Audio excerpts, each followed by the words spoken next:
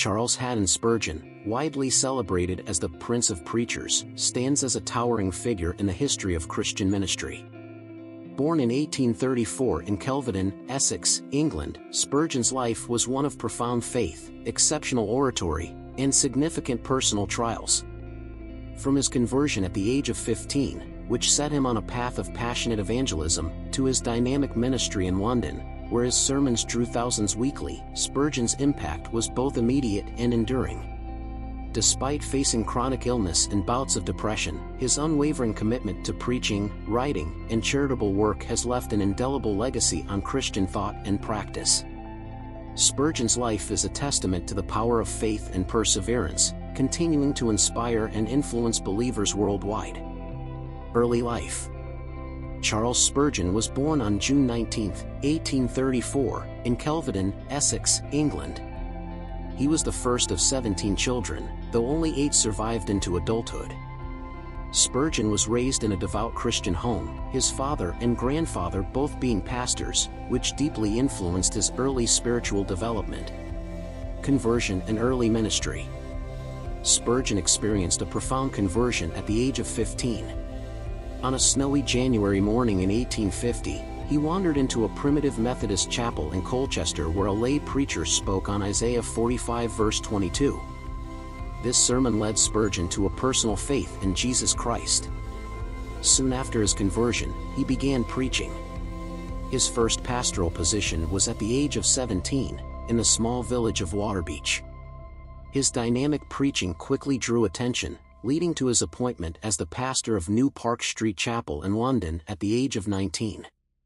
Ministry in London Spurgeon's move to New Park Street Chapel marked the beginning of a significant period in his ministry. The church grew rapidly under his leadership, necessitating several moves to larger venues. Eventually, the congregation settled in the newly constructed Metropolitan Tabernacle in 1861, which could seat 5,000 people and was often filled to capacity. Spurgeon's preaching was characterized by its clarity, powerful oratory, and theological depth. He was a master of vivid illustrations and practical applications, making his sermons accessible and engaging to a wide audience.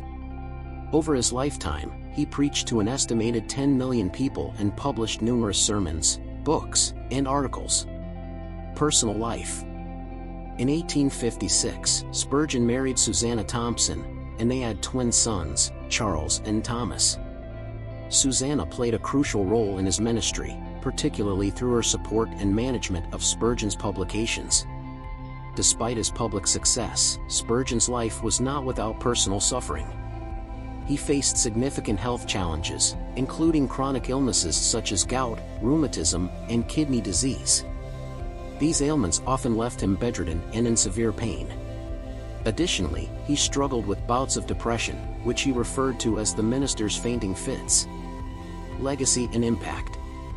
Spurgeon's influence extended beyond his preaching.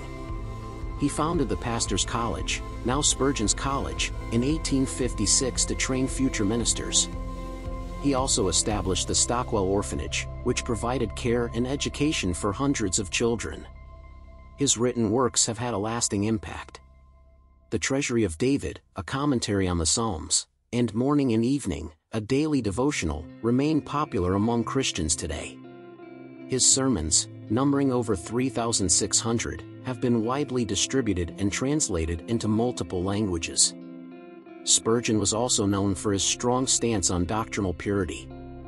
He was involved in the downgrade controversy, defending evangelical beliefs against what he perceived as liberal theological trends within the Baptist Union, which eventually led to his withdrawal from the Union in 1887. Death and Legacy Charles Spurgeon died on January 31, 1892, at the age of 57. His funeral was a major event, attended by thousands who wished to honor his memory and legacy.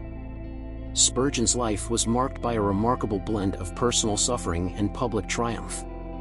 His deep commitment to preaching the gospel and his compassion for the suffering have left an indelible mark on Christian history.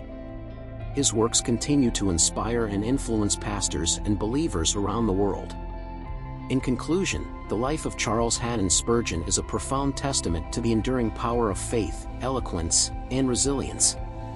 From his humble beginnings in Essex to his emergence as a leading preacher of his time, Spurgeon's unwavering dedication to his ministry and his relentless pursuit of doctrinal purity shaped the spiritual lives of millions. His contributions extend beyond his powerful sermons, his written works, charitable endeavors, and the institutions he founded continue to impact the Christian world.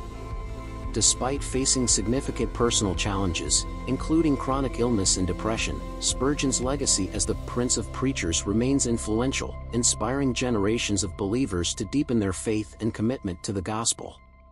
His life story is a compelling narrative of how one individual's steadfast devotion can leave a lasting mark on history. See you in the next video, leave your comment,